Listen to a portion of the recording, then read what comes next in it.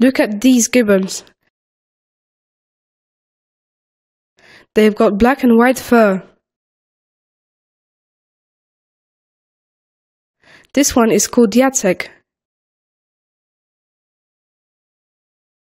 He's eating an apple. The other one is jumping.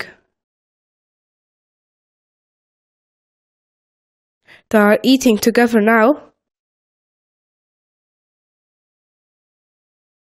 They are so sweet.